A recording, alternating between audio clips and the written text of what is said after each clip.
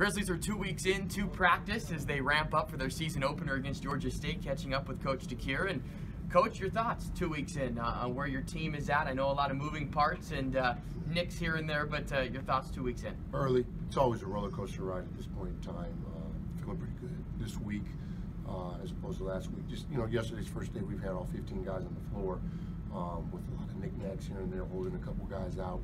Um, so it was the first time we got a chance to really look at everyone competing together. Um, and so now, if we can sustain the competition and the intensity, we'll, we'll, be moving in the right direction. I think we talk a lot about who has surprised you with newcomers or who has impressed you, but how about for your veterans and who's back? Who has impressed you maybe in that group that has stepped up? Well, you know, I, I think you get what you expect out of Jamar and Mike, you know, their consistency and the things that they do. I, I think Ahmaad and Timmy have grown the most. You know, Ahmaad on the defensive end not needing as much help through screens and, and his ability to communicate and, and, make things happen off the ball defensively. His level of intensity and his focus to detail has been at a very, very high level. Um, I don't know that I've ever seen that uh, out of him or a point guard this consistently at this stage of the season.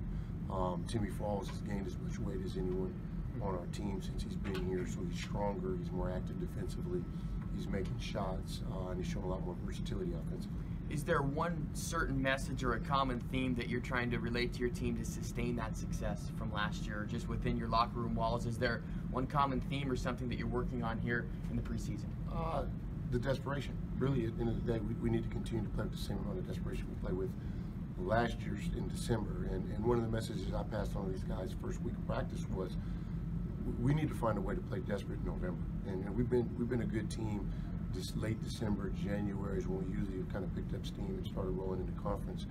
And with the senior laden team, you'd like to see him perform in November. And so that's kind of our goal right now. Grizzly basketball two weeks in, ramping up for their season opener against Georgia State.